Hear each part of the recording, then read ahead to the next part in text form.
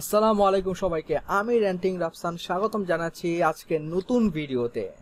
অনেক অনেক দিন পর সেই লাস্ট ভিডিও রোজার ঈদের ছিল, এখন সামনে কোরবানি চলে আসতেছে অ্যান্ড এত বড় একটা গ্যাপ কি করব? পরীক্ষা অ্যান্ড পরীক্ষা। মাত্র পরীক্ষা শেষ হলো মানে জাস্ট পরীক্ষাটা সাবমিট করার পর পরই আমি বসে পড়লাম। তো আজকের ভিডিওতে নর্মালি জাস্ট বলব যে মানে কিছু কথা নিয়ে কথা হবে মানে কিছু কথা বলতে চাই আমি। ব্যাপারটা হচ্ছে, ঈদের পর পর একটা বাজে নেগেটিভ ভাইব ছিল, যেটা আমাদের সোশ্যাল মিডিয়াতেও ছিল ইউটিউবেও ছিল, অবশ্যই, এবং আমাদের সমাজে তো অবশ্যই আছে, এবং সাথে চলতেছিল করোনার এই সমস্যা লকডাউন তো এত বড় একটা গ্যাপ নিজেরও পার্সোনাল কিছু সমস্যা ছিল, সেটা নাই বলি, কিন্তু সবচেয়ে লক্ষ্যজনক ব্যাপারটা হচ্ছিল যে ওই সময় আশেপাশে এত নেগেটিভিটি ছিল যে মানুষের মাঝে অবশ্যই নেগেটিভিটিটা চলে আসতেছে। যে মানুষ ফার্স্ট অফ অল মানুষ ঘরে বসে থেকে এমনিতেই বোর্ড অ্যান্ড কারও অভ্যাস নেই কখনো যে এইভাবে তারা ঘরে থাকবে বা ঘরে বদ্ধ থেকে কি করবে না করবে, সেটা নাই। তারপরে শুরু হচ্ছে কারও কারও অনলাইন ক্লাস পরীক্ষা, ঘরে থেকে সব মানুষ বাইরে যেতে পারতেছে না, বাইরের বারবার মৃত্যু সংখ্যা বাড়তেছে, করোনায় আক্রান্ত সংখ্যা বাড়তেছে, এই ধরনের একটা নেগেটিভ ভাইব চলতেছিল।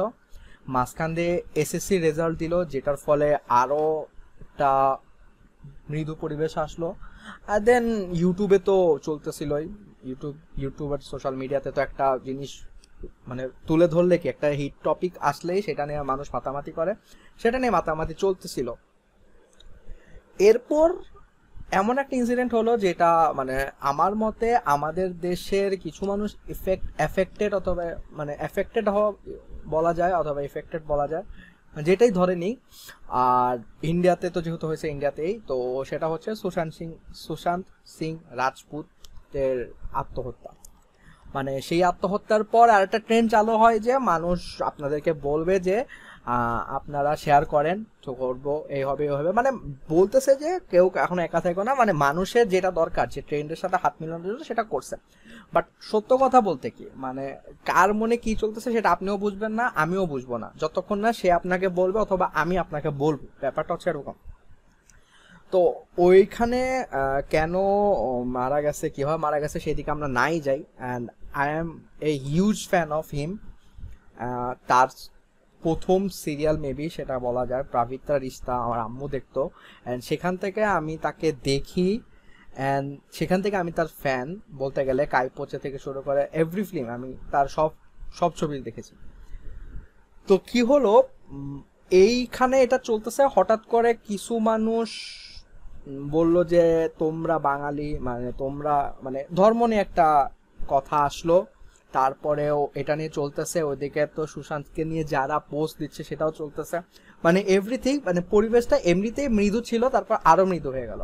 অ্যান্ড এগুলো আমি দেখতে দেখতে আমার আর বসার কোনো ইচ্ছাই জাগে নাই যে আমি বসবো ভিডিও বানাবো। আমার সব রেডি আমার স্ক্রিপ্ট রেডি আমার প্ল্যানিং রেডি জাস্ট বসবো ভিডিও রেকর্ড করব আপলোড দেবো দ্যাটস ইট তো এত নেগেটিভিটি আশেপাশে যে আমরা মানে কাজ করার জন্য মানুষ সাহস পাচ্ছে না। হয়তো কেউ যদি সাহস করে আগায়, সেই নেগেটিভিটিটা তাকে দশ ধাপ পিছে ফেলিয়ে দেয়।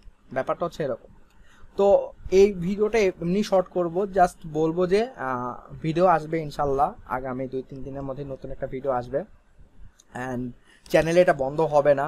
আমি আসি, থাকব। জাস্ট এইটুকু সবার উদ্দেশ্যেই বলা যে প্লিজ দয়া করে নেগেটিভিটি ছড়াবেন না। কেউ যদি কোনো কাজ করতে চায়, তাকে হেল্প করুন, তাকে সাপোর্ট করুন। কেউ যদি কোনো কিছু না পারে, তাকে দেখিয়ে দিন বা তাকে বুঝান। কেউ যদি ডিপ্রেস থাকে, তার, সে যদি শেয়ার করতে চায়, তাহলে ভালো। যদি শেয়ার করতে না চায়, তার সাথে কথা বলতে পারেন, ই করতে পারেন। অ্যান্ড আরেকটা ব্যাপার যেটা মানে আসলে আমার চোখে পড়ে যে মানে মানুষ চলে যাওয়ার পর আমরা মানুষের, ওই মানুষটা কদর বুঝি। যে সুশান্ত মারা গেল, বলিউডে এখন নেপোটিজম নিয়ে কথা হচ্ছে। ধরেন, আমি মারা গেলাম, হয়তো আমার যেদিন মারা গেছে সেদিনকে আপনারা মানে আমার ফ্রেন্ড বা আমার ফ্যামিলি মৃত্যুবার্ষিকী পালন করবে, আমার বার্থডে দিন তারা মনে করবে বা বিভিন্ন সময় মনে করবে। বাট যখন আমি ছিলাম, তখন কি আমার আশেপাশে মানুষ আমাকে মানে কথা বলতেছিল অথবা আমাকে মনে করতেছিল কি? এটা আপনি নিজের ক্ষেত্রেও প্রশ্ন করবেন অথবা আপনার আশেপাশে বা আপনার ক্লোজ যারা আছে, তাদেরকেও মানে তাদের দিকেও লক্ষ্য করবেন যে আপনার যে ফ্রেন্ড অথবা আপনার সাথে যে কথা বলে বা আপনার যে ফ্যামিলি আপনি তাদেরকে সমান সময় দিচ্ছেনই কিনা? বা তারা যদি না থাকতো, তাহলে আপনি কি তাদের মিস করতেন কি না বা তাদের মানে তাদের জন্য যে ফিলটা করতেন, সেটা এখনই দেখান। মানুষ চলে যাওয়ার পর আমরা সেই ফিলটা দেখাই। তো মানুষ যেহেতু আসে মানুষ যাওয়ার আগে তাকে সেই মর্যাদাটা দেয় বা তাকে সেই ফিলটা দেয় বা তাকে সেই কেয়ারটা দেয়। তো আমার কথা এইটাই যে স্টপ নেগেটিভিটি মানে স্প্রেডিং নেগেটিভিটিটা অনেক হয়ে গেছে, অনেক। মানে টক্সিক এক্সপোজিং থেকে শুরু করে সোশ্যাল মিডিয়াতে ঢুকলেই এই এক্সপোজ ওই এক্সপোজ ওই কোম্পানির এই প্রোডাক্ট এই হচ্ছে, এই প্রোডাক্টের রিভিউ খারাপ। মানে পজিটিভ কিছু দেখা মানে চোখেও পড়ে না, সমস্যা হচ্ছে এটা তো কথা বেশি বাড়াবো না। দুই, তিন দিনের মধ্যে ইনশাল্লাহ নতুন ভিডিও আসবে। সবাই ভালো থাকবেন, সুস্থ থাকবেন এবং বাসায় থাকবেন অবশ্যই এবং please stop spreading negativity and stay positive আসসালামু আলাইকুম।